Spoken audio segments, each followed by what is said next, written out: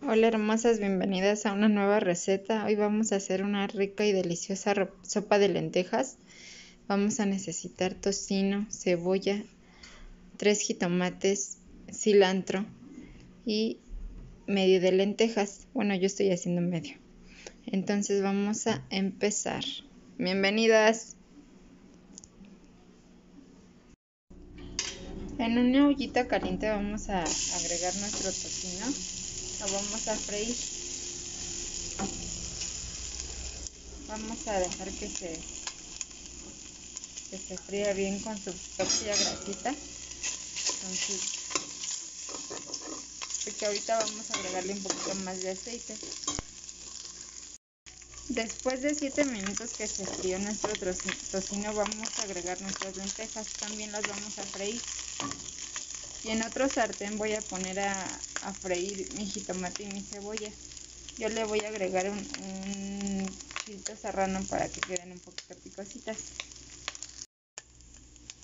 Voy a dejarlas freír de 10 a 15 minutos en lo que frío mis, mis verduras porque las voy a agregar aquí. Ahorita ustedes van a ver.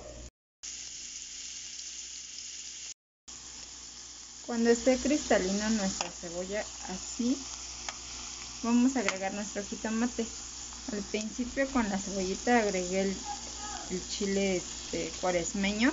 Había comentado que quería ponerle un serrano, pero tenía uno cuaresmeño, entonces ese también sirve. Entonces vamos a esperar a que se cocine.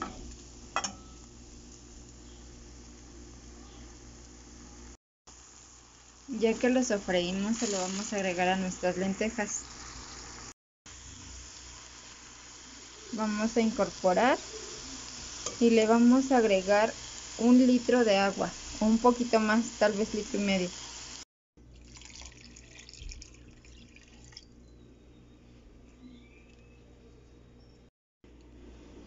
Ya que le agregué el agua, vamos a esperar de 30 a 40 minutos para ver cómo van de cocimiento nuestras lentejas y para también agregar sal. Esa le tenemos que agregar, se agregan este un poquito antes de que las apaguemos, ya que si las, la agregamos ahorita no agarra, no, no, no, no agarra el sabor a la sal. Entonces nos vamos a esperar y también para agregarle el cilantro. Gracias, nos vemos en la próxima.